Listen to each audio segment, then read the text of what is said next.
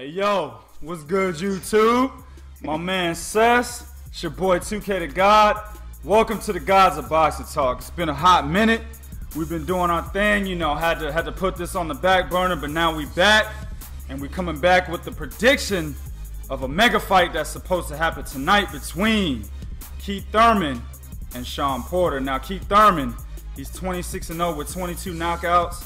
He is the current WBA 147 pound champion, and he's going up against Shawn Porter. He's uh, 26 0, one loss, one draw with 16 knockouts.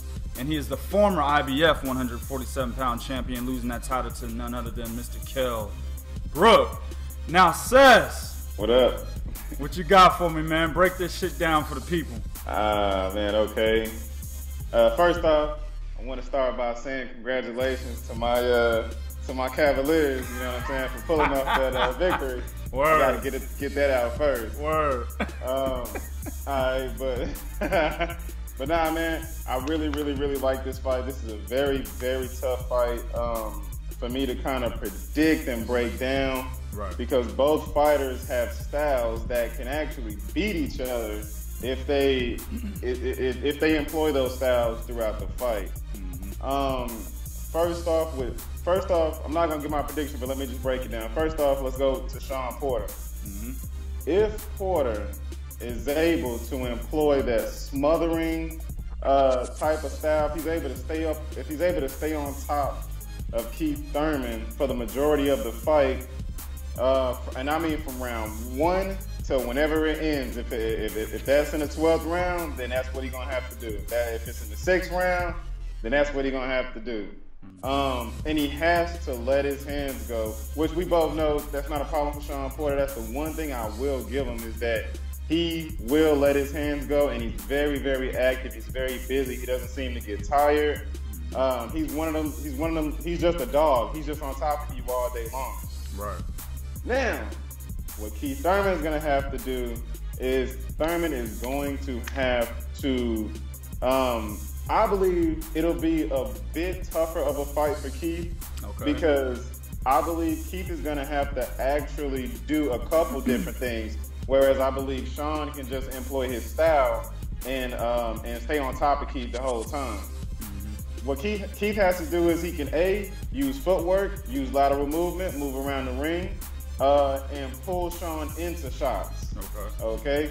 Uh, with the type of style that that Shawn Porter has, he literally walks into shit. You know.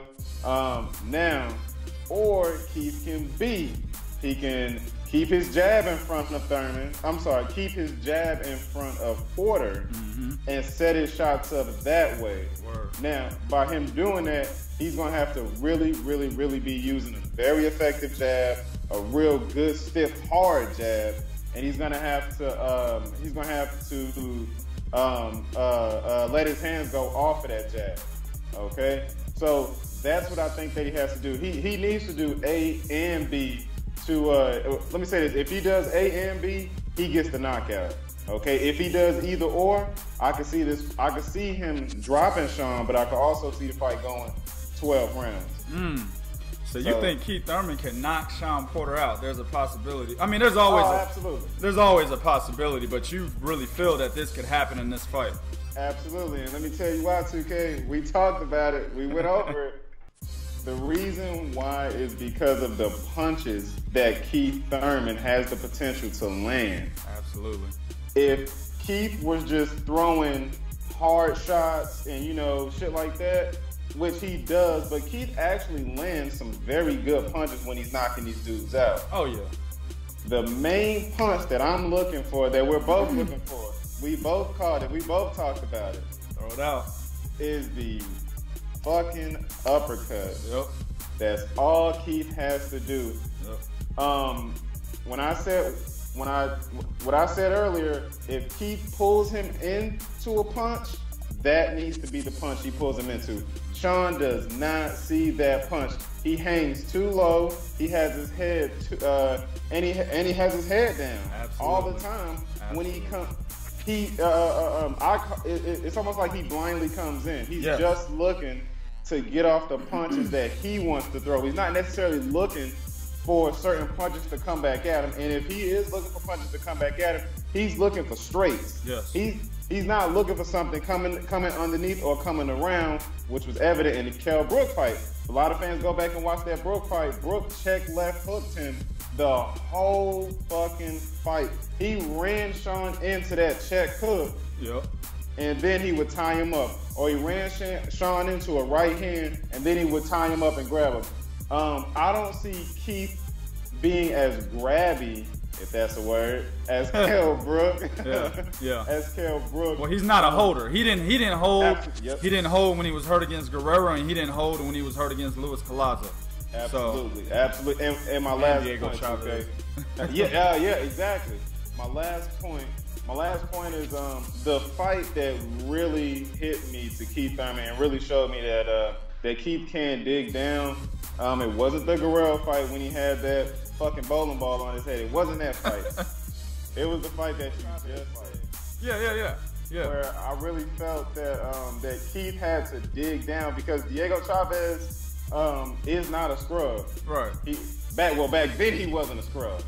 Okay, now I don't know what he got going on, but Keith had to dig down. He had to find that second, um, that that that inner competitor, man. Yeah. And he really did that in that fight, and he was able to uh, come out victorious. So I fully expect him to do it in this fight. Absolutely, and and and uh, to even further your point about Shawn Porter running into those, uh, uh, looking only for straight shots. That's how Adrien Broner was able to check left hook him in that 11th or 12th round. I can't remember what round that was, Yeah. but he checked left hooked him too, and that's what dropped Shawn Porter. Now, my biggest thing, I mean, you've already touched on, on almost everything that I could say. So I'm gonna play a little bit of devil's advocate. advocate. Oh, okay. My biggest thing about Keith Thurman is his movement is not that great. He does mm. have movement. Absolutely. He showed that against Leonard Bundu. He showed that he could box Yeah. from the outside. He showed that he could move laterally. He showed that he could play the matador, you know, against the Raging Bull. Absolutely. Yeah. But it's not the kind of Raging Bull that was in the ring with Keith Thurman when he fought Leonard Bundu as the one that he will be in the ring with today. Now, Good point. Shawn Porter, like you said, it's just like, you know what this motherfucker reminds me of? Like somebody got a chain around this nigga's neck, you know what I'm saying? And the dog is like doing this shit, trying to get at the person, and then as soon as the bell rang, they let that chain go. Boom! That's Shawn Yeah. Porter to me, bro. You know what I'm saying? Okay. Now, somebody said, I won't mention their names, but somebody said on, on one of the many social media sites that I'm on, he said, or she said, that Shawn Porter has beautiful technique. Now, oh. now, now, it is what it is. That's their opinion. But if you watch boxing and you understand what's going on, Shawn Porter really doesn't provide much technique in his attack. He has a game plan that he goes in there with, and his game plan is to maul his opponent, to smother his opponent so that he is so overwhelmed that he can't get off the punches that he wants to get off, that he can't move the way he wants to move, that he can't defend the way that he normally defends. That is. Shawn Porter and Kenny Porter's strategy. It has nothing to do with technique if you look at it. Because if it has something to do with technique, like my man said, he wouldn't be coming in like this. Yeah. You see what I'm saying? If you're gonna mo- if you're gonna maul in, as an ex inside fighter is telling you from myself, if you're gonna maul in, you come in like this. Yes. Or you come in like this, like Mike Tyson used to do. Yeah. You don't come in like this and you leave yourself wide open for uppercuts. Mm-hmm. That's the key thing for me with Keith Thurman. He's going, I see the uppercut all night long. If he's smart, all he has to do is take a page right out of Kell Brooks' book. Yep. Uppercut, check left, uh, left hook, tie up.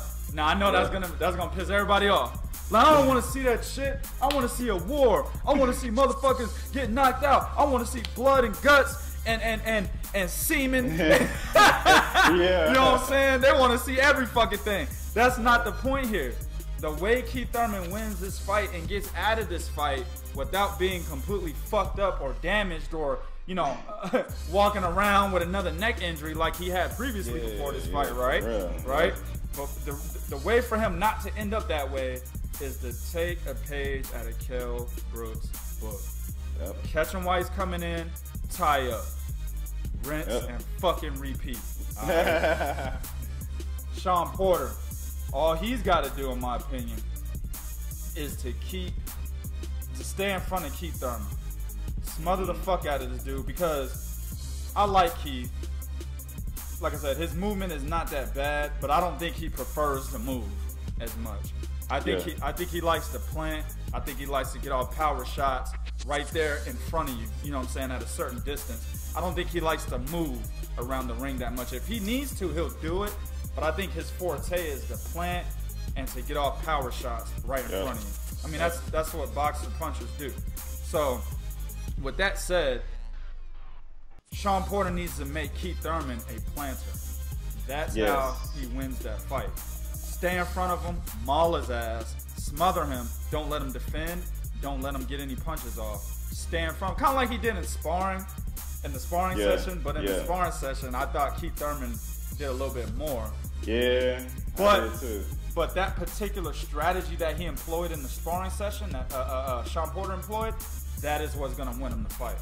Absolutely. So, predictions. Man, I've been like this all motherfucking week, Yeah, bro. I have no idea up to today. Mm, okay. I'm going with Keith, man. Aha. Okay. I'm going. I, I know. I'm going. I know. I'm going with Keith. I think. Um, I think he will take a page out of Kell, uh, uh, Kell Brooks' book. He's actually already mentioned that he will do that. Um, Shawn Porter is a guy that doesn't have a plan B. He only has a plan A, and that's it. Yep, and his plan, his plan A is to maul you. I mean, that's why you you saw that he couldn't adjust against uh, Kell Brook. He couldn't adjust Yep. to that. I mean, Yep. Kell Brook did the same fucking thing from round one to round twelve. The whole You know, yeah. the, the same fucking thing, and and uh, Shawn Porter was unable to adjust. He also didn't adjust to Julio Diaz. That's why that fight was a draw. Mm. so Julio Diaz adjusted and got and uh, Yep. uh, ended up making the fight closer. Shawn Porter did the same shit. Yep. Even against Adrien Broner, he never adjusted. No, nor did he need to. Yeah. But even when Adrien Broner finally let his hand go and threw the check left hook, Shawn Porter got up and proceeded to do the same thing. Yep. so, so with that aspect right there of his game, him not being able to adjust and go to a plan B, I think Keith Thurman will eventually adjust. I see Shawn Porter taking a lot of the closer, uh, the earlier rounds. Later on in the fight, I see Keith Thurman pulling away, taking this fight by unanimous decision. What do you think, man? Man, I'm in 100% agreement with everything that you just said, including the prediction. Uh, definitely, man. I'm going. I'm going with Keith Thurman. Um, just to add on to that, I like what I seen from Keith at the weigh-in. oh yeah. Um, he was actually a bit more animated in front of Shawn than he has been in the build-up to this fight. Um, uh, you know, he's he said his things when he's done his own personal interviews and, and, and things of that nature. But finally, finally, he did something in front of you and uh, in front of Shawn, and he was telling Shawn, "Hey, you going to sleep? You know, this boy going to sleep."